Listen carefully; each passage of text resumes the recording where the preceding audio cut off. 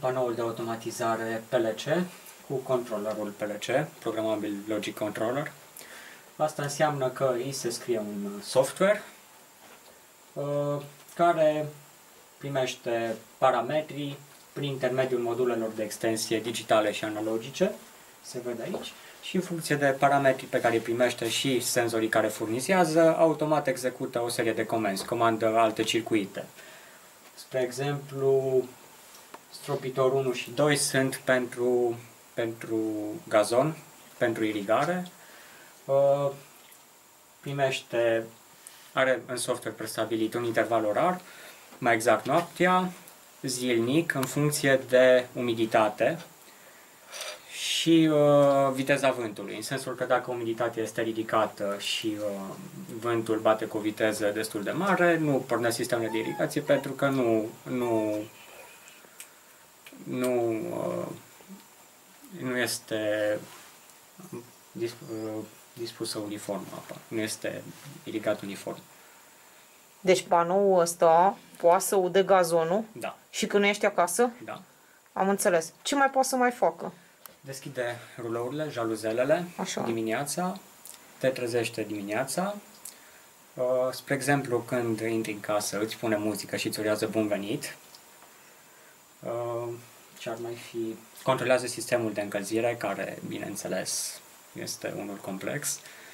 De asemenea, sistemul de alarmă este controlat tot prin intermediul PLC-ului și a senzorilor care De unde ne poate spune bun venit? Că acum noi am intrat în casă. Se întâmplă aici sau în altă încăpere ne spune bun venit? în, uh, în uh, living. Ok. Uh, Probabil din cauza că era gălăgie nu s-a auzit, dar ați observat probabil că a pornit muzica ulterior. La intrarea în casă, bineînțeles, fiind o casă primitoare cu o automatizare prietenoasă, se urează bun venit și se pune muzică.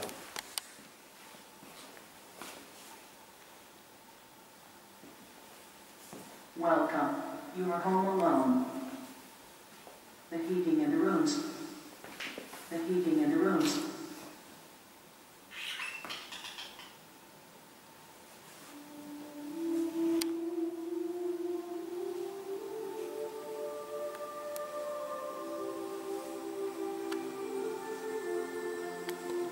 Panoul de automatizare despre care este vorba cel din imagine. Pe scurt, controlează tot în casă, începând de la partea de iluminare, nu mai este nevoie de întrerupătoare, deși sunt prezente. Totul este pe bază de senzor de mișcare și senzor de lumină. Dacă intensitatea luminoasă este una ridicată, atunci uh, nu se aprind becurile în casă.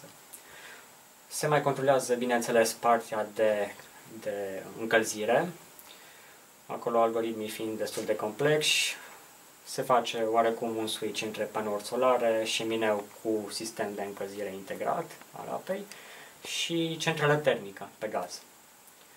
Apa încălzită fiind colectată într-un rezervor și pompele de, de apă uh, punând în mișcare instalația. Uh, Se mai controlează rulourile, adică jaluzelele, dimineața sau în funcție de viteza vântului, dacă este una semnificativ de mare, se închide automat, bineînțeles anunță prestabilit, pentru a nu s- se întâmpla ceva și să se spargă vreun geam. Um, De, ame- de asemenea, partea de securitate, nu știu dacă am menționat-o, Um, în cazul încărcă, încălcării perimetrului fără cartele de acces, uh, proprietarul este anunțat prin SMS, respectiv uh, apel telefonic. Uh, Acesta fiind modulul de alarmă, panoul de automatizare, sursa panoului de automatizare, ceea ce este special este ceea ce se întâmplă în cazul unei pene de curent, autonomie 24-48 de ore în funcție de utilizare, sunt menținute active pompele de la instalația termică uh, și câteva prize. Cât ți-a luat Strictul ca să acesta.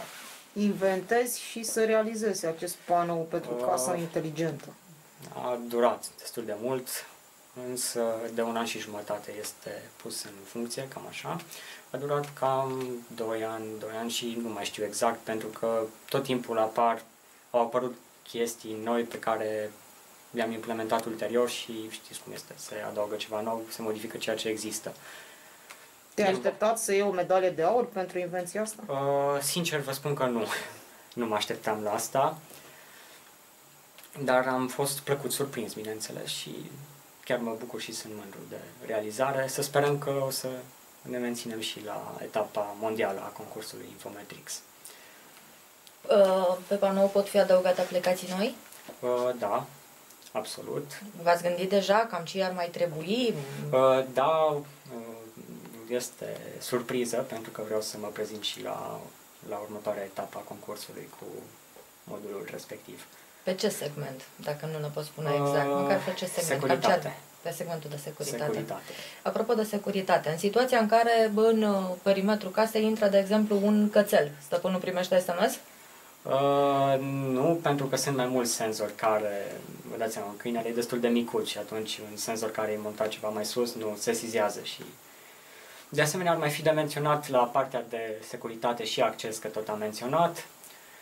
Accesul se poate face pe bază de cheie sau card de acces. În cazul în care se folosește cardul de acces, automat, după deschiderea porții, există un timp de reacție la apropierea de ușă, în momentul ajungerii în perimetrul ușii, se deschide automat ușa în funcție de viteza vântului, în sensul că dacă vântul bate cu o viteză cât de cât măricică, nu se deschide pentru a nu se trânti sau în caz contrar, ușa se deschide. Bineînțeles, există, cum spuneam, un timp de reacție, astfel încât dacă nu ne apropiem de ușă, să zicem, în două minute sau un minut, deja se anulează comanda și dacă trece cineva prin dreptul ușii, nu se, nu se deschide.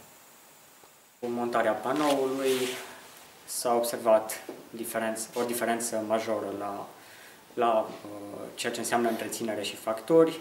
Drept exemplu, factura de gaz la această casă cu suprafață utilă de 230 de metri pătrați, într-o lună geroasă, undeva la 150 de lei.